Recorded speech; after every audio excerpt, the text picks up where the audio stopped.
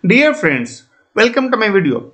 In this video, I'll show you how to get the current date and time in your Android app. So let's begin.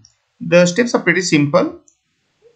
We'll just create an application, say for example, get current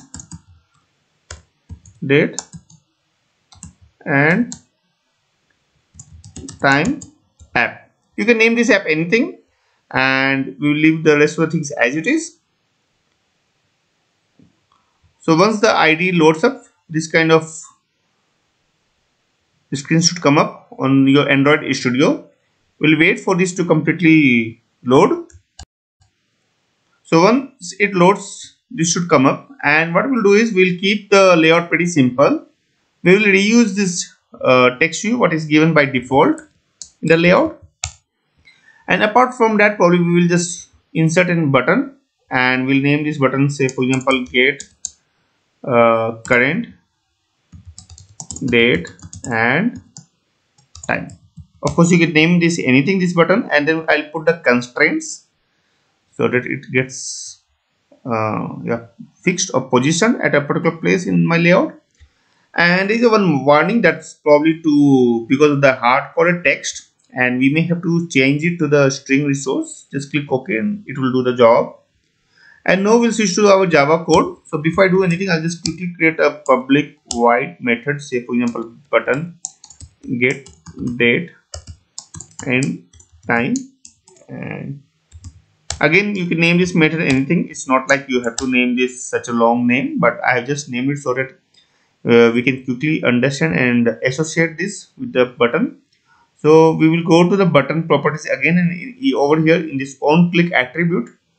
We will select the method which we have just now defined. So you have to first define the method in the java code and then only to be visible in your attribute list over here. In the on click uh, attribute. So yeah. Uh, i think uh, it went somewhere down. If i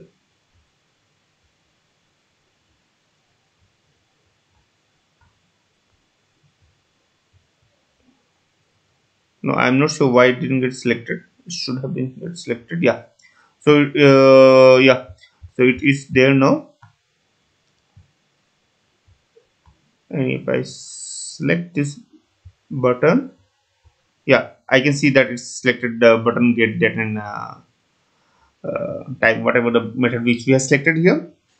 And now if i go back to my java code i'll just create a quickly uh, private class variable called text view. Text.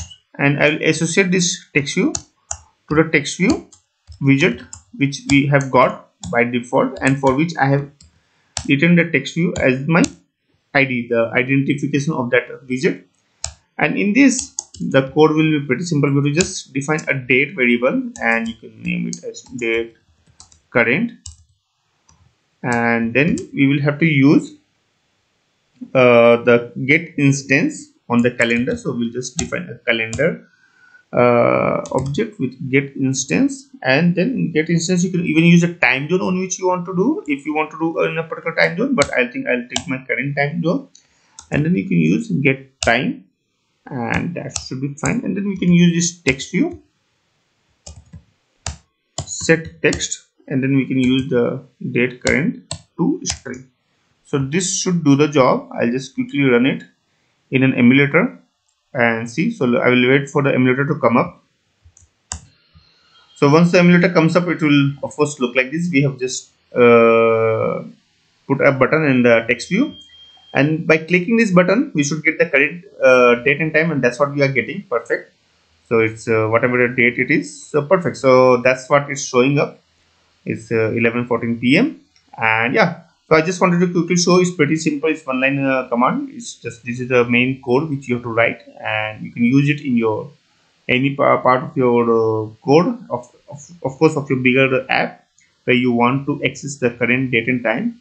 And of course it gives you the pretty lengthy uh, string and you can filter out the part of the string which is relevant. Say for example you just want the month and the date or the time or the year which is the last one. So you can do it accordingly so that's all I hope this video is useful to you. If you have any questions or suggestions, then please put in the comment section.